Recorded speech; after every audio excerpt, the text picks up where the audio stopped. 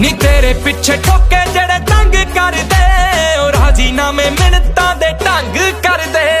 ਕਰਦੇ ਤੂੰ, ਹਾਂ, ਗੱਲ ਮੰਨ, ਦਿਲ ਦੀ ਨੀ ਟਾਈਮ ਲੈ ਲਾ, ਭਾਵੇਂ ਸੰਗ ਸੰਗ ਕਰਦੇ। ਨੀ ਲੋੜ ਤੇਰੀ ਕਮਲੇ ਨੂੰ ਡਰਦੀ ਹੀ ਜਾਵੇ, ਨੀ ਤੇਰੇ ਤੇ ਗਰਾਰੀ ਮੇਰੀ ਅੜਦੀ ਹੀ ਜਾਵੇ। ਤੂੰ ਹੀ ਤੂੰ ਐ ਜੱਟ ਦੀ ਪਸੰਦ ਬੱਲੀਏ, ਲਾ ਫੈਮਲੀ ਵੀ ਹੋ ਗਈ ਰਜ਼ਾਮੰਤ ਬੱਲੀਏ।